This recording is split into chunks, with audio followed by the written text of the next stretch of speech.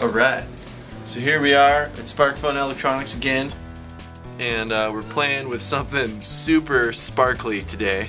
This one um, is the Trackballer, new little product we got coming out and you know, it's a trackball but it's got four LEDs underneath it and when I put it down on the test jig it really starts a disco party. Look at that thing go.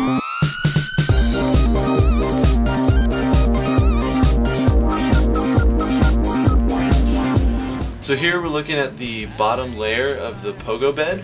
And um, if I zoom on in here you can actually see we have a 168 and these digital pins are sending high and low signals to the different LEDs on the trackball board.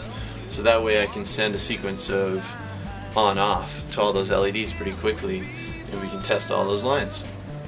Um, another connection it has is the button so when I press that LED, it's actually sending that signal to my Atmega and resetting it.